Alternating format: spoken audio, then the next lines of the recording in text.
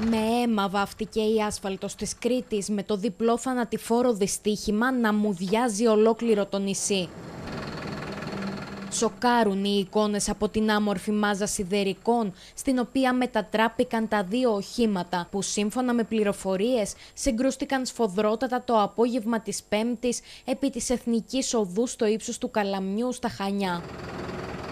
Από τη μία στιγμή στην άλλη, μία οικογένεια ξεκληρίστηκε. Μάνα και κόρη άφησαν την τελευταία τους πνοή, ενώ στην εντατική του νοσοκομείου Χανίων νοσηλεύεται ο πατέρας.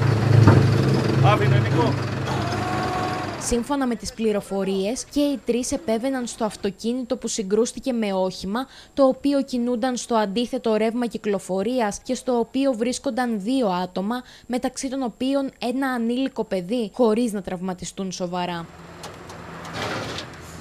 Το νήμα της ανίποτης αυτής τραγωδίας ξετυλίγεται και ανατριχιάζει, αφού η 60χρονη μητέρα φέρεται να ήταν αυτή που έσβησε πρώτη, χάνοντας τη ζωή της ακαριέα μέσα στα συντρίμια του αυτοκινήτου.